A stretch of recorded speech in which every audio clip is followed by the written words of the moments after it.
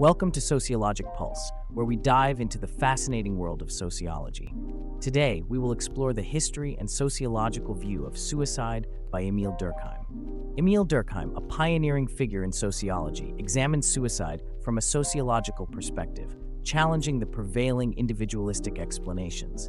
Durkheim identified four types of suicide egoistic, altruistic, anomic, and fatalistic, each with its unique social causes and implications.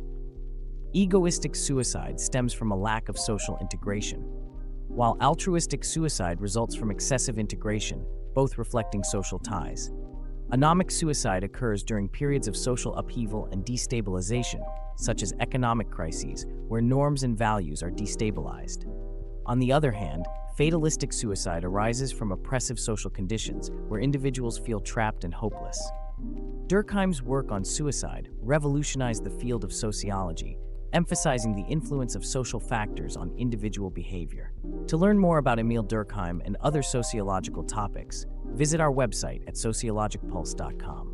Join the conversation and expand your sociological knowledge.